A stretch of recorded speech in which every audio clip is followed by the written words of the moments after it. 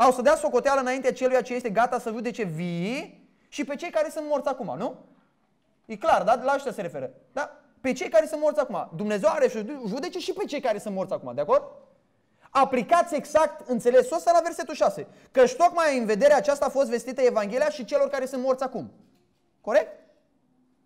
La asta a fost. Dacă eu ți-aș spune ție, uh, Radu, eu am predicat Evanghelia străbunicului tău. Radu nu o să înțeleagă că eu azi noapte m-am dus în cimitir. Nu știu unde e îngropat străbunicul și m-am și am predicat Evanghelia, corect?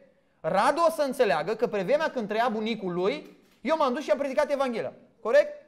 Asta o să înțeleagă Radu. Dacă eu aș spune, eu sunt prieten cu directorul de la ANAF, să spunem că e un băiat foarte tânăr director la ANAF, sau dacă spune, eu am făcut școală cu directorul la ANAF, tu n-ai făcut școală cu directorul la ANAF, că când ai făcut o școală cu el, el nu era director la ANAF.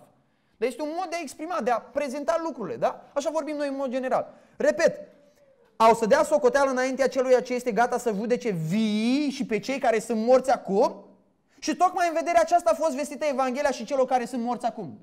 Aplici aceeași interpretare din versetul 5 la versetul 6. Nu poți să schimbi așa după cum uh, vrei. De asta nu există, din punctul meu de vedere, niciun motiv pentru care să intri în niște speculații fără capăt și să spui că s-a dus Domnul Isus Hristos sau nu știu cine, în timp ce ăștia erau morți să le vestească Evanghelia.